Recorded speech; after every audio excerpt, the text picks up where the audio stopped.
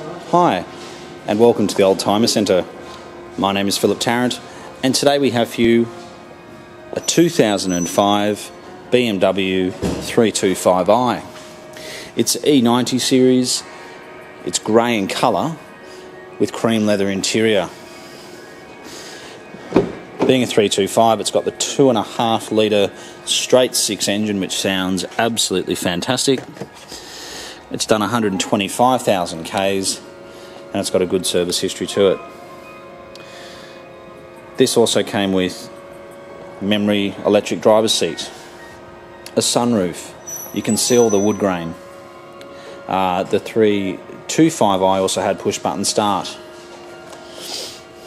You can never have enough wood grain in a BMW. It's got these very nice looking BMW alloy wheels.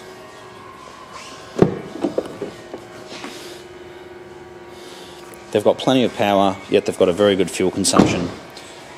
We think that you're far better off buying something like this secondhand as opposed to a 320 four cylinder because really secondhand there's not a lot of difference in terms of price, yet brand new there was a significant difference. In fact, I believe this car was well over $70,000 when it was new. You can also tell a 325 compared to a 320 based on the twin exhaust. This car's got rear parking sensors as well. They've got a very good sized boat, uh, boot, I should say. The back seats fold down for extra space if required. And in general, for a 2005 model with over 120,000 Ks, it, it is in good condition. The leather is excellent. The colour combination is absolutely divine.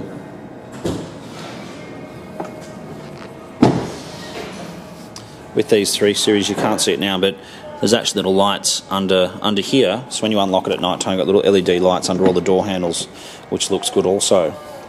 Uh, this car was optioned with heated seats. I've actually never seen a 325i with heated seats. It's got an electric passenger seat as well. It's got all the logbooks.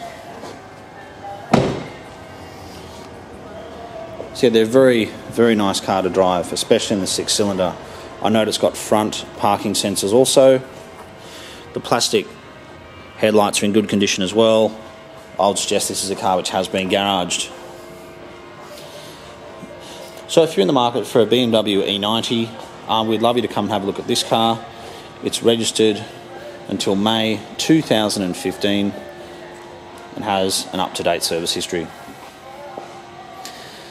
So, we're the Oldtimer Centre. We're located in Marrickville in Sydney. Please come in. You can speak to Richard or Philip, and we look forward to hearing from you. Thanks so much for watching.